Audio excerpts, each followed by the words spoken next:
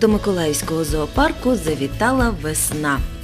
Пані діловито пройшлася його алеями, зазирнула у дальні куточки, розбудила підсніжники і котів. Цікаво, що про це думають тутешні мешканці і працівники.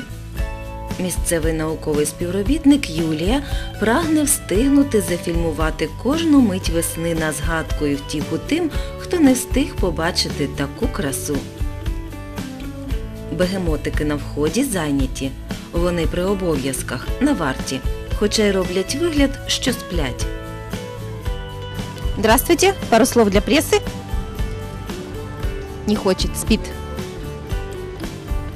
А вы, извините, пожалуйста. Вы еще маленький.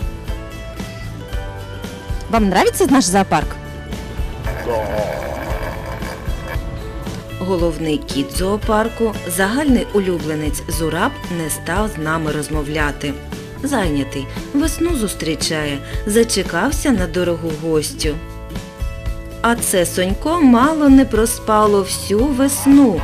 Добре, що гуси розбудили. І правильно, хто ж спить такої чудової днини?